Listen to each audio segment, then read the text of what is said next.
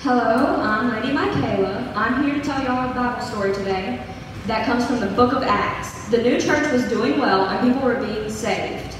And the gospel was being preached to everyone. Some of the Jewish leaders didn't like that, of course.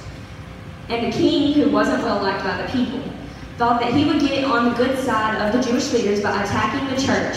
He had one of the Christian leaders, James, killed with a sword. They probably chopped off his head. The Jewish leaders were delighted.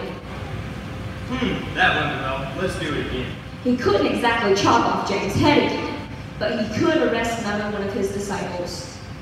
Go get Peter. Put him in prison. After Passover, we will give him the chop.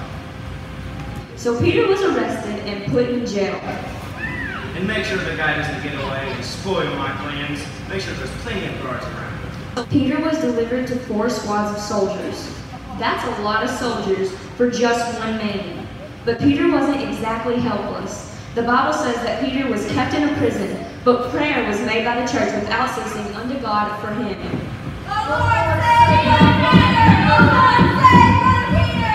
That night, while Peter was sleeping, changed to two guards, an angel came into the prison and hit Peter in the side.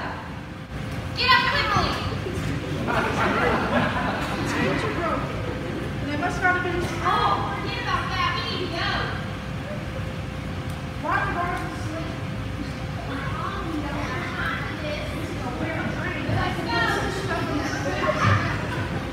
Peter followed the angel through the wards of the prison and out the iron gate. He still thought he was dreaming. They passed out the prison and down the street, and then the angel left him. Wow, the Lord saved me from the chopping block.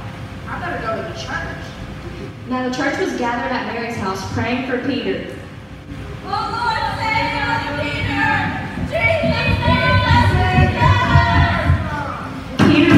Door, and a servant girl named Rhoda came to answer it.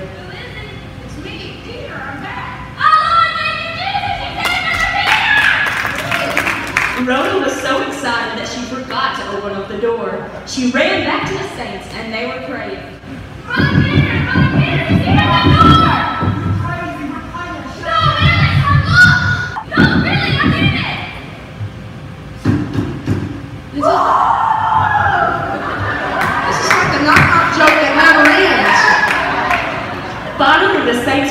Lord and left Peter in. They were amazed. Thank you, Lord, for saving our brother Peter.